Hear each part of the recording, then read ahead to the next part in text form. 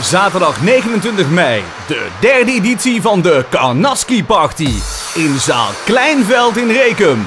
Met om 22.30 uur een optreden van Fabrizio. Zie eens mich dat. Leidinggeven in open in drijmende komende vers bij.